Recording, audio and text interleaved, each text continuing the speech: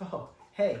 I didn't see you there. It is a pretty well-known fact that on my channel, I have done a lot of paludarium builds. Semi-aquatic environments like that are my favorite to work with. I've done the raining paludarium, jungle paludarium, mossy frog drip wall paludarium. I got the axolotl paludarium right behind me. And even before I started doing YouTube, I had done probably 20 plus paludariums. Now, with that being said, I have never really made a true nano paludarium. I've got the nano jungle paludarium and the raining paludarium. They are on the smaller side, but I wouldn't consider them to be nano paludarium so I think it's about time that I challenge myself and make an actual nano paludarium. I have gotten this request a few times from you guys actually for me to make it and I'm finally gonna commit to it and I'm gonna make one. So let's make one. So the first order of business is to actually take a look at the aquarium that I'll be using. And I don't actually have one, so video's over. Thanks for watching. Thank you all for watching this here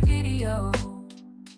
Please like and subscribe. No. I have a bunch of extra glass sitting in my garage that I've had from leftover projects and whatnot, so I am going to make my own. I do have some experience building tanks for the Nano Jungle Paludarium. I did build that entire enclosure, and then I had the uh, rain chamber for the raining paludarium a few weeks ago. But before we do anything else, we need to build an aquarium, so uh, let's take a look at the glass.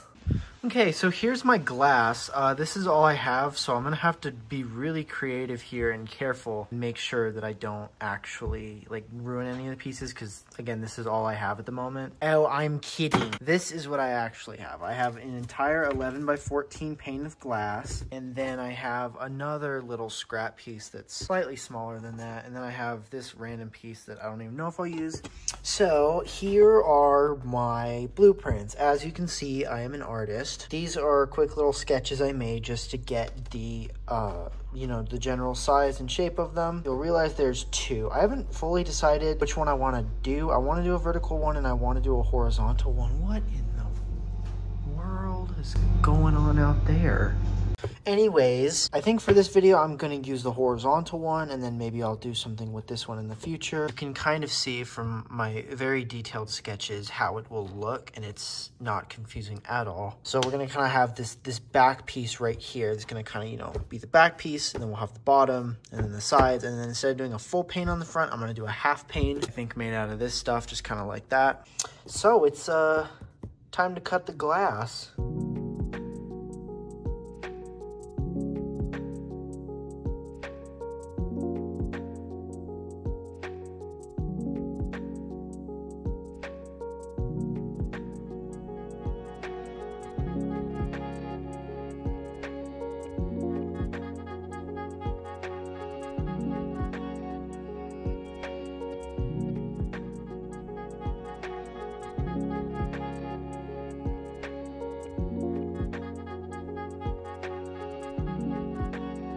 Well, that sucks. Uh, yeah, cutting glass is hard. Luckily, it's not right on my line, and I think I will still be able to salvage it. So, uh, let's finish getting this made and forget our past mistakes.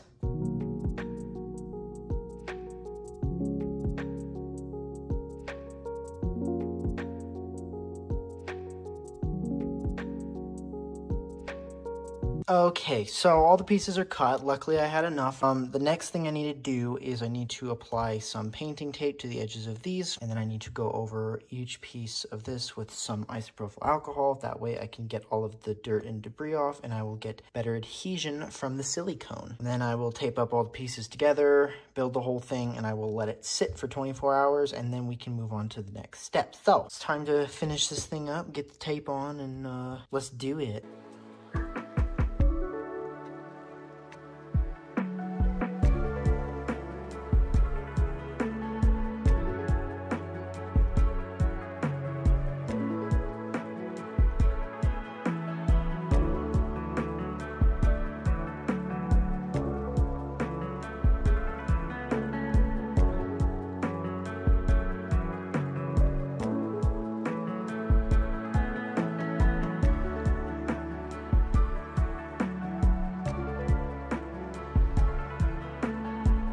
Okay, the aquarium is all complete. I think it looks pretty good. I'm gonna do a little bit of sanding around the edges just because they're still a wee sharp. And so now we just gotta let this guy sit for about 24 hours and then we can continue with the project. So, okay, tis the next day and our uh, aquarium is all cured and everything. I really like the size. I think the vertical one too will be a cool size, but for now we gotta worry about this one. So I'm gonna remove the tape and then I gotta do a little bit of sanding on the uh, edges. I'm gonna just wet some sandpaper um, and then we can move on to the next step. Time to untape this thing.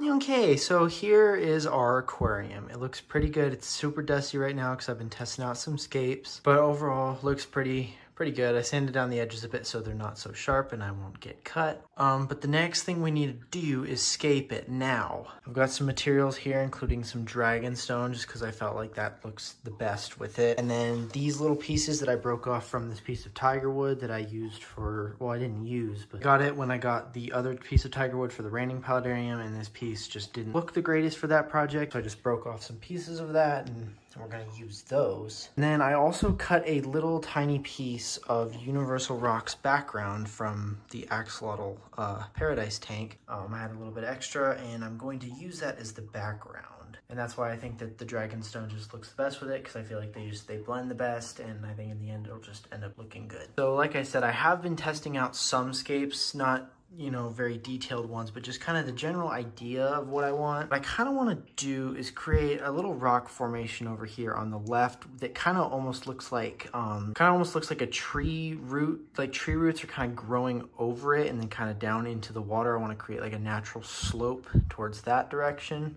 And then I also want to try and have, you know, maybe a few pieces that are kind of coming up this way and kind of give it a little more depth and whatnot. So I got the materials here in order to permanently attach this. I'm gonna leave it loose for now, but I think I'm just gonna use some super glue to attach it just cause I mean, it fits pretty well and with the scape in there, it shouldn't move, but I'm just gonna super glue that in place and we're gonna get scaping. So the first thing I started to do when scaping was I started by building the rock structure with just a few simple pieces and then I started testing out some of the branching effects that I wanted and at this point, the scape was like super wiggly. I was getting a good branch structure and I liked the way it was looking, but I just, I couldn't go any further because it was too wiggly. So I decided to permanently attach the scape together using some cotton balls and super glue. This creates, you know, a super strong bond between them. Um, that way everything will stay put and then just put a little bit of sand over it just to make sure that it's all pretty. And then I continued along with the wood. So um, enjoy.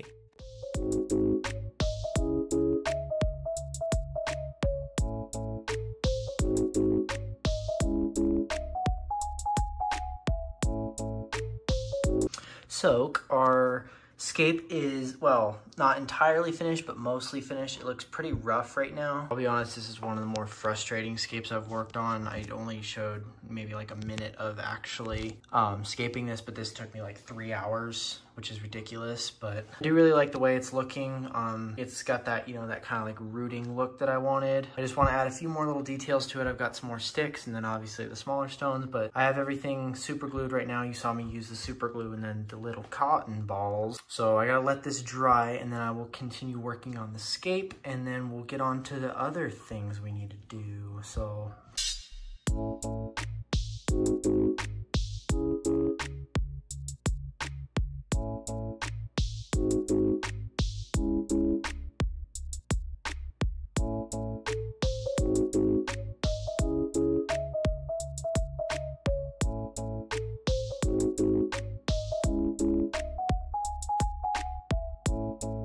Okay, so it is a little bit later the next day because I had to go out to get some plants and the super glue didn't dry completely, so I had to let that sit overnight. And then I also had a dentist appointment, so the entire left side of my face is numb. But luckily I can still talk and I can still do this video. Anyways, um, the background is now uh, not silicone, but super glued on. And then our scape is finished. It's all glued together, so it's one whole piece now. So next thing that we need to do, we're actually almost finished with the project. I need to put substrate in here. I think I might lay this down first. It's such a small tank, it's not gonna need any um, like egg crate or anything to distribute the weight of the stones. I think I'm gonna put this in first and then we'll go in with the substrate. So uh, let's take a look at the substrate. So I was originally originally maybe planning on using some of this stuff, which is just some like sand, the same stuff that I use for the axolotl tank. But I don't really like the color of it. It's like super saturated. So I'm actually gonna use just some play sand. I'm kind of wanting to go with like a, a more like freshwater look for this one. I don't want to make it so like tropical, I guess. I really want it to kind of feel more like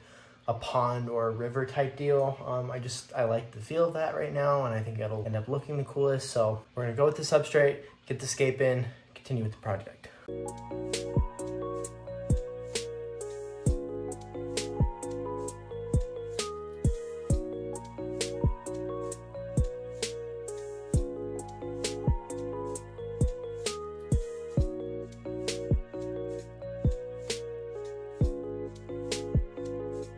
So the scape and the substrate is in place. I think it looks great. I mean, everything blends pretty well so far. Um, now, if you remember from earlier, I have some of these smaller rocks. I'm gonna go in and just, you know, do the detail work and then we can move on to the planes. So um, let's rock.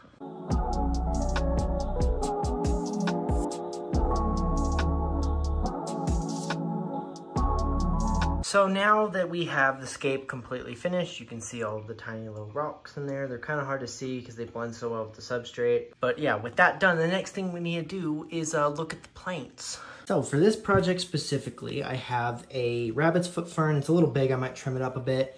And then an ivy to just, you know, help with some of the smaller details. This other little ivy that um, I might use, I don't know, I've, I, it's just from another project. So we'll see if I have a use for it. And then I have some ficus that I'm gonna use and then some moss. I think it'll look so much better once we get the plants in place. It'll just help bring it to life and then we can start to fill it up and whatnot. So I'm gonna prep those. I think the last things I need to do is, I mean, really just add the plants, add the moss and everything and then get it filled up. So I think we're, we're on the home stretch here. So let us finish the race.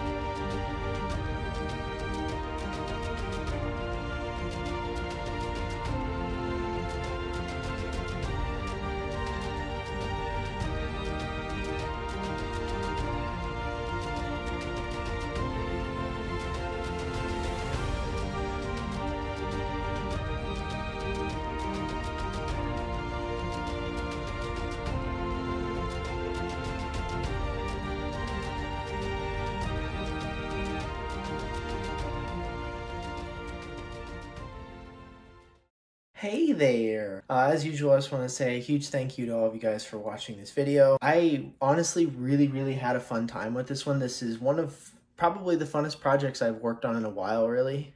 Um, you know, there were parts that were challenging, but I like the challenge. You know, it helps develop my skills and just, you know, helps me learn new techniques. And I liked challenging myself. You know, like I said, I've made stuff like the Nano Paludarium and the Nano Riparium, but like never really anything this small. And personally, I think it turned out great. It's kind of harder to see from here, but like you saw those shots, it's a pretty cool project. I definitely want to work on another one with that like vertical um, look, so I'm going to get that going here in a bit. Also, like I said, you know, semi-aquatic environments have always been kind of my specialty and like the thing that, you know, like that's kind of what I started off doing um, when I started this hobby, and that's kind of the thing that's just clicked with me the most. But that's going to be all for this week. Again, thank you guys so much for watching. Make sure to like, subscribe if you haven't already. Go check out last week's video on the orchid terrarium. I'll see you guys next week.